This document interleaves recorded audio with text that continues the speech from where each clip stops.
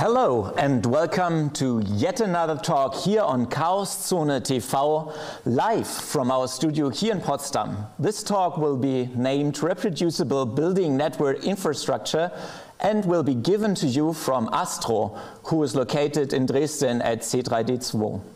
Äh, für die deutschen Zuschauer, dieser Talk wird übersetzt äh, und ich werde jetzt zurück auf Englisch äh, wechseln. Five years ago, the C3D2 moved into a new and renovated building. And with this, they had the opportunity to kind of take over the network infrastructure and become kind of an ISP to all the community that is surrounding them inside the building. In his talk, Astro will tell us um, how he um, structured and maybe restructured um, all of this network infrastructure based on NixOS. And uh, I will wish you lots of good information and uh, lots of fun here at this talk, Reproducible Building Network Infrastructure by Astro. The stage is yours. Hello, welcome back. Sorry for the issues. Uh, from the beginning on, I am actually a software developer by heart, but I'm also a computer administrator I have a strong interest in usable network infrastructure because it is required for my communications programs when I write software. So over the time, I developed a few strong opinions about how computer networks should be designed so that they actually serve their users and don't uh, put additional restrictions on them. And I've always uh, asked myself how this can be done actually. And five years ago, I've had the opportunity to try this at a larger scale and learn a lot. And that's why, why I'm uh, doing this talk today, because I want to share my experience and maybe inspire you to do the same for your community. And before I begin, I will tell you a bit about the location because um, where our Hackspace was uh, located before in an office complex. This was brilliant this wouldn't have been possible. But then we found the uh, Zentralwerk. Um, and we met these uh, creative, open-minded people in an old factory building, and we immediately felt that they were with us. And there's a uh, the the environment is really nice. For example, the old factory had towers where we can put up Freifunk nodes, uh, Starlink, and we can install antennas and find radio. So this is really that uh, provides a lot of opportunity to have fun with technology here. But the best is there is a ballroom that is a beautiful event venue where we hold our annual conference and it's really a nice atmosphere. So in these buildings, there are uh, built-in Ethernet cables to all the apartments. Because there were no tech people before us, we were offered to run it. So yeah, seized the opportunity because I was very if there would be a a uh, growing chaos if organically so in, I invited all the interested technical people to propose a structure, and that's what we've been running ever since. And our goals are, of course, the eyeballs want to watch some Facebook, and this is often disappointing for me.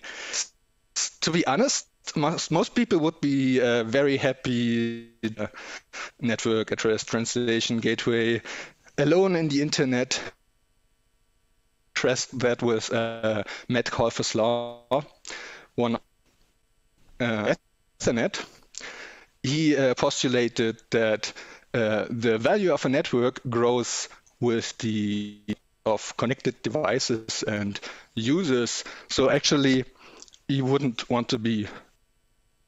You want to be connected maybe you want to be connected with even faster cables to your neighbors. They are connected in shared infrastructure. Of course, uh, pool their resources, pool their money to get high quality internet uplink, which means for less money, there's more uh, peak bandwidth for everyone. And Uh, uh, because access is a fundamental requirement in the 21st century, there needs to be open. I think it's a shame that there's so few open Wi-Fi in Germany. Um, when I run the network, there has to be open Wi-Fi, and because we want to run um, encrypted open Wi-Fi and parallel, parallel, we actually we actually care, we have to care of the uh, wireless access points, which is uh, kind of big difference to an ordinary ISP. And then we want to make it uh, useful beyond internet. We want to enable cooperation, so that's why we uphold the end-to-end principle of the internet in our network. There is no network address translation between neighbors, so peer-to-peer -peer and sharing printers actually works, and by now there's a few servers for house internal servers, but that's not what this talk is about. This talk is really about the underlying infrastructure. And because I do not want to be the sole responsible person for all that, uh, I tried to enable cooperative administration from the beginning on. So, of course, I want to increase the bus factor. So if anything happens to me, other people can continue to take care of it.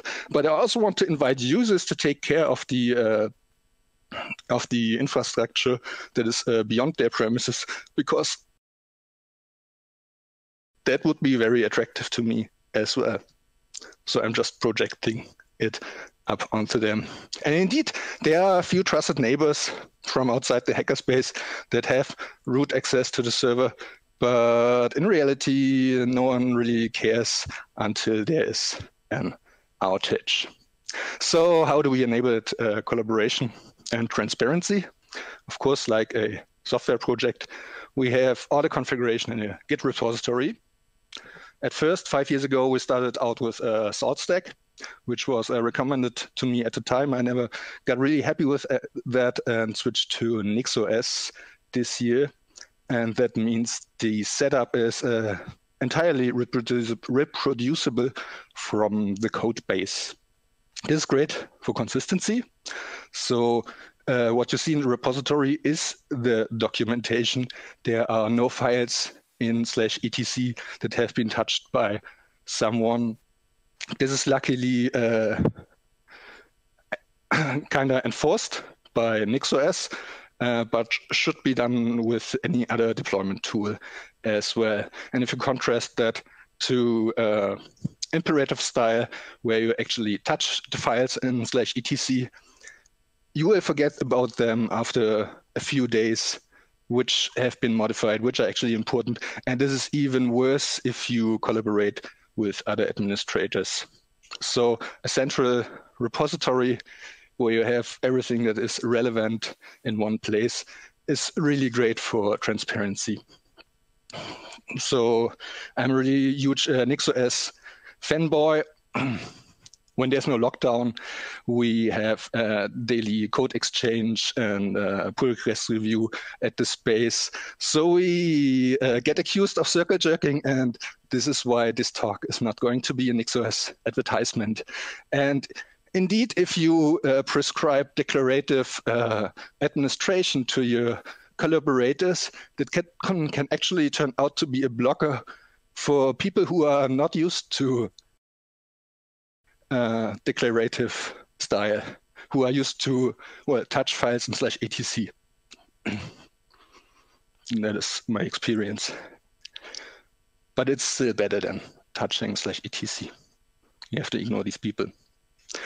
So people are always calling out for documentation. My experience is that doesn't work. People who do not look into code do not look into documentation. And there's also this problem with external documentation uh, gets out of sync with the actual state really quickly. So that's why you best keep it in the repository. And that's what we do. We've written quite up uh, some texts so that every neighbor can uh, like get to know the network. Um, but in fact, no one ever reads that. No one ever scans those QR codes. And by now, because people, even uh, the uh, the admin team doesn't like to read documentation, I package little packages, uh, little scripts for for regular chores, so they do not have to look up documentation, but just run the commands that are yeah documented in the process. So how do we design our network? Before we connect people, we actually need to separate the networks so they, do, they cannot uh, break uh, the neighbor's network with a rogue DHCP server, handing out invalid IP addresses, or even worse, do ARP spoofing, spoofing uh, to redirect traffic. So what we want is an isolated link between a neighbor and our server, and then connect on the IP level with well-defined routing and maybe even firewalls. So what we need is virtualization, and there is a widespread technology for that called virtual LAN, uh, where you just give a network a number in a switch, and to send multiple networks over one cable, there is this uh, well-supported VLAN packet format. Here you can see uh, uh, on the uh, on top, you can see a normal Ethernet frame starting with destination and source addresses, and then comes the packet type, like IPv4, IPv6, IPX, you name it. And on the bottom, you have a special packet type for VLAN, which is followed by the VLAN number, the network number, and then the rest of the original packet follows. So when such a packet uh, is received by a network device that understands that. It can look at the uh, number in that packet and assign it to the proper network. So this is uh, this is understood by lots of configurable switches and by Linux and OpenWRT devices, and this is what we actually use. On top, you can see uh, cheap Wi-Fi routers that are supported by OpenWRT. Remember, we run them for our users to ensure they do not only uh, run their private Wi-Fi network, but also their uh, public, the uh, public network that is open for anyone. And we run, run that with OpenWRT because it runs on many cheap devices and means freedom. And uh, we get updates, and it's nice. People often tell me to to just buy devices from the proper vendor, but that's not what we do here because we don't actually have a budget. In the middle, you can see uh, big switches. These are not the uh, 10 euro switches you buy for your desk, but these are manageable switches that can be configured so that you can put sets of ports in different numbered virtual LANs. And on the bottom, there's the most important part that we need is a Linux server. And once there is Linux, we have freedom and uh, to do whatever we want. So how do we configure these devices? They should, the configuration should come from our repository. And from that data, we just generate expect scripts.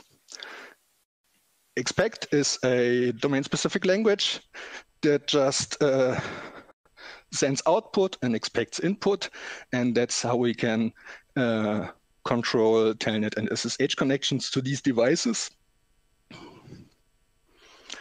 And I recognize this uh, as an archaic way to do it, but it works with any device that is configurable over the command line and we don't need vendor specific tools to use our devices because we got them for free. They are old. They are, uh, there's no current software. Some uh, network switches require um, configuration via web interface that only supports Internet Explorer 6. And it's really great if you uh, discover a hidden command line via Telnet where you can actually do these things reproducibly. But in the end, this uh, this technology really sucks, and that there are no uh, no updates uh, is a huge problem because this network infrastructure. This is not only a smartphone. I I rather have a, a big Linux box with uh, 48 Ethernet ports instead. So how do we uh, segment our network? We decided to go for the following um, network types. At first, we have a management network, which is not really accessible. This is just for uh, getting to the uh, network devices and reconfiguring them with our generated scripts. Then we have a core network, which is at the center. Uh, this is where all the routers are. The, we run a routing protocol, uh, open shortest path first, so that there's a consistent view of uh, the specific routes and all the yeah all the routers are connected there. And for every network where there are clients, uh, we have a gateway that is between the core network and those client networks. And those client networks is uh, one for services, one for the hackerspace, one for the open Wi-Fi, and many for every neighbor. And then there are isolated networks because sometimes uh, people are afraid of uh, doing networking with CCC people. So we can connect them with their modem in the basement. Um, yeah, and provide an isolated Ethernet link this has always also been uh, very useful for conferences like Datenspuren, where the uh, VOC wanted to do like audio video bridges or put their compute nodes uh, in another room. So that's a lot of flexibility that you get uh, when you have uh, manageable switches put everywhere.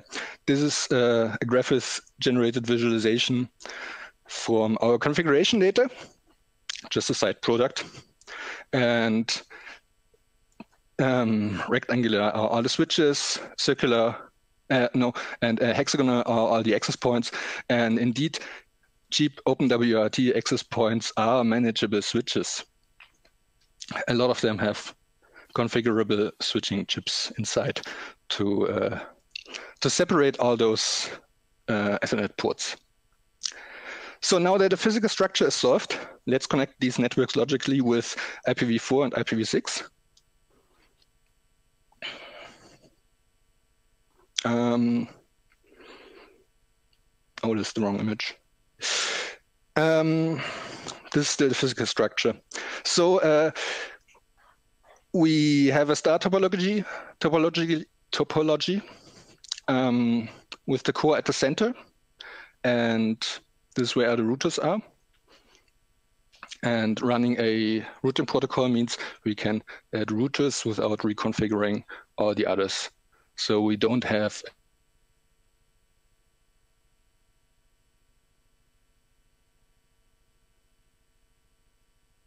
full flexibility. We have no constraints by embedded hardware. I know there's um, there's hardware that can do IP and IPv6 routing, but on Linux there is just much more potential. So for the routers, I decided to to have the granularity at the, the router level, so I put them in uh, Linux containers. Uh, this is not like Docker, but this is full uh, NixOS in LXC, where we can actually have uh, multiple network interfaces per container. And so we can uh, bring the core network and the one of the access networks to a container. And the uh, VLAN is um, handled by the, the Linux host that bridges a network into the container. So what do the uh, router containers do? Of course, they do routing, um, NAT routing for the internet uplinks, and for the routers between the core net and the access networks. There are DHCP servers for um, handing out IPv4 addresses. There's router advertisements for handing out, out IPv6 addresses. And neighbors can optionally get a firewall if they do not want incoming connections. So when you have shared infrastructure, people are always uh, afraid of the uh, leeches and seeders. That's why we need um, that's why we need uh, packet scheduling on the uh, sending interfaces. And for quite some time, we used uh, controlled delay shaped to our upstream bandwidth. It is this shaper is uh, also the default for OpenWRT by now. So this also keeps uh, queues short on Wi-Fi. Uh, but by now there is this uh, cake shaper um, called uh, Common Applications Kept Enhanced that uh, builds on top of CODEL and brings uh, many more integrated features for a most snappy internet access.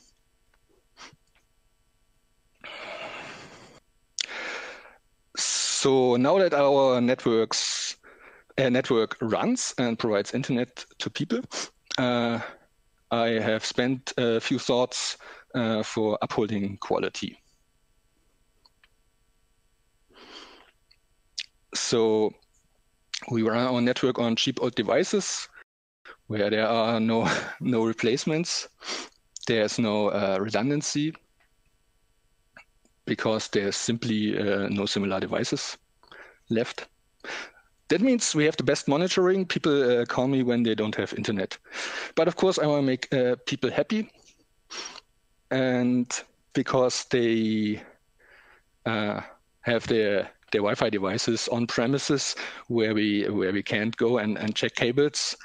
Uh, I was afraid of cables becoming unplugged, which would mean there would be uh, dysfunctional Wi-Fi networks, which is why I uh, made a little cron job that runs every few minutes and checks if the server is still reachable.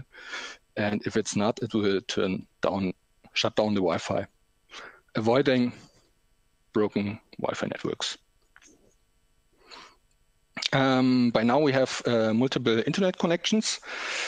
Originally, I planned that uh, multiple neighbors can pool into one internet connection. Turns out uh, one big internet connection is enough for everyone. So people don't actually care about which technology they use to get to the internet. They just want well, internet, and I want to give them the fastest experience.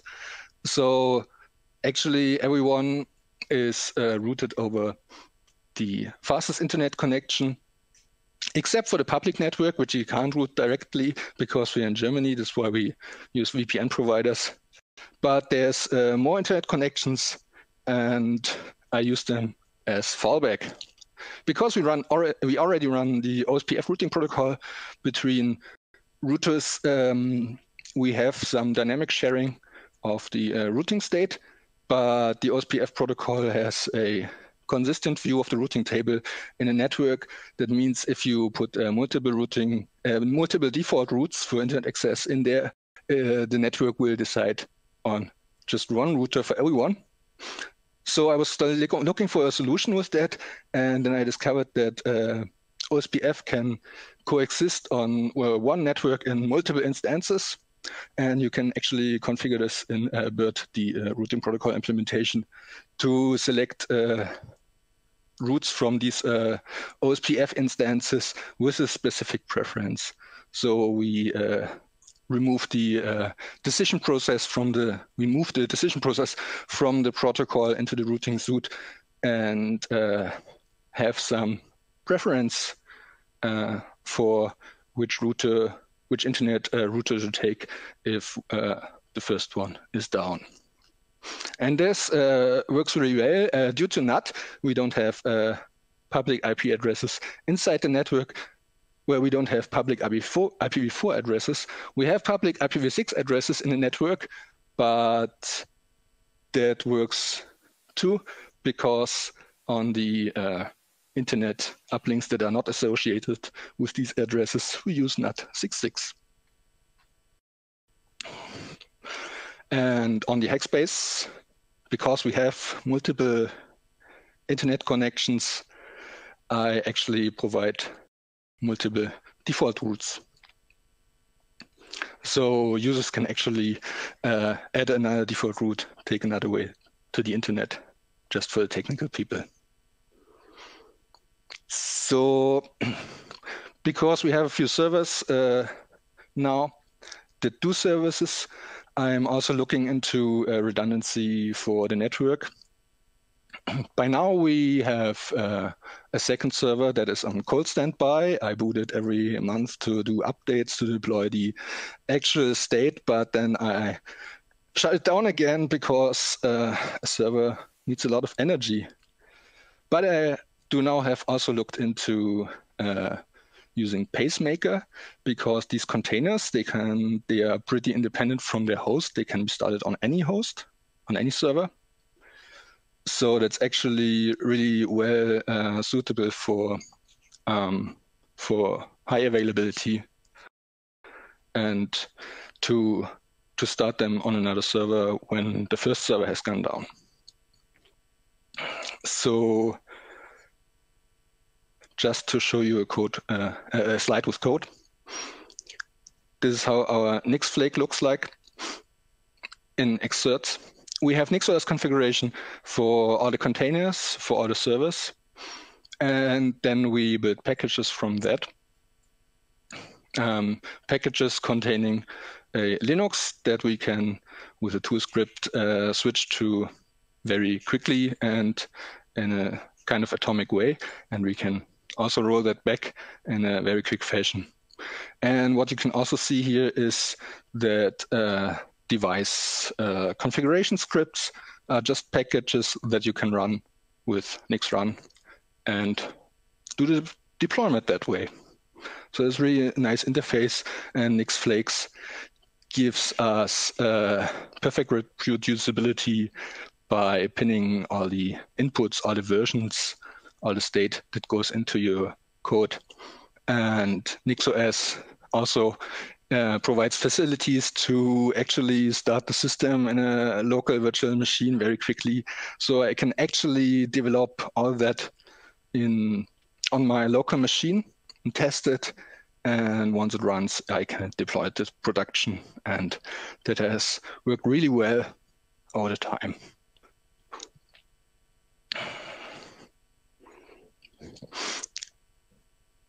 So in all the time, we connected three isolated networks, one hackerspace network, 42 neighbor networks. We run 41 Wi-Fi access points uh, with uh, open Wi-Fi and neighbor networks. And if you listen to the numbers, that is uh, less Wi-Fi access points than neighbor networks. People can actually share uh, yeah, plastic routers as well. We run seven manageable switches. We have one active and one cold standby server. We have six services servers and the entire house is reachable globally via IPv6 and reachable from DN42. We have DNS infrastructure, a few internet connections, and I have to say, once this, uh, once the stuff is running smoothly, uh, maintenance gets reduced to keeping devices updated, onboarding new participants, and extending the network. I get a lot of satisfaction from this project because it actually provides an important service to people I know. I want you to think about it. You uh, can do it this too. Once you automate uh, your infrastructure, you can do it very, very easily for others. I want you to ensure end-to-end reachability, which is uh, easy with IPv6 nowadays, and promote usage of the internet how it is supposed to be to work end-to-end, so that everyone can be a sender. Thank you for listening. Thanks so much, Astro, for your great talk, Reproducible Building Network Infrastructure. Back here uh, on the Herod stage, um, we of course collected some questions for you. Uh, the first one would be, um, did you have any non-technical issues with open public Wi-Fi? I mean, you already talked about it a bit, you explicitly uh, use VPN for those ones, but what is your experience running those networks uh, on a kind of non-technical level? Well, because so legal level, I guess. because we were very aware of the uh, legal issues in Germany, we decided to use a VPN provider from the beginning on. But the other aspect is that uh, well, people don't scan my QR codes, people don't read my documentation. They just say, "Oh, there's a public Wi-Fi, I can use it. That's okay." And years later, they come to me and say, "What? I can I can get like a private Wi-Fi." I've been using this open Wi-Fi all the time, and uh, people have been printing on my printer. I don't know who it was. all right, so this is also a kind of a positive experience that is possible as well, as long as you're kind of legally safe to run your network. Mm -hmm. so um, there's another question. Um, well, you made a bit of uh, advertisement for uh, NixOS, but um, there's a question, why didn't you choose uh, Guix, uh, the GNU um, Guix um, Linux many for your system? Hmm? Too many parentheses. ah. no, there's a, there's a big uh, NixOS community here, and uh, I actually like the language a lot. Okay, so this would be would have been an alternative, but uh, you're clearly a NixOS fan, and so you just decided yes, to use I am a NixOS fanboy. There's uh, like uh, SaltStack, Ansible, uh, Chef, and Puppet, but I really think NixOS is best. nice. Um, another question we collected here is, um, do you have or run a pipeline on your Git repository which is kind of related to the NixOS? Um, so the person that asked it says, I have no idea how NixOS is really working. So is it kind of a, like a pipeline uh, where you can deploy uh, every change uh, to your overall network infrastructure then? Or is it kind of implicit within NixOS then? Kind of implicit. Mm -hmm. So all the deployment is uh, self-scripted and was very trivial to do with NixOS. All right, so you just uh, run the updates on NixOS and everyone just gets the latest infrastructure there. All right, um, with this, and um, yeah, with another thanks to you, Astro, to Dresden um, we can end this talk. And again, uh, thanks for watching here on Chaos Zone TV, uh, live from the Potsdam stage. See you for the next talk.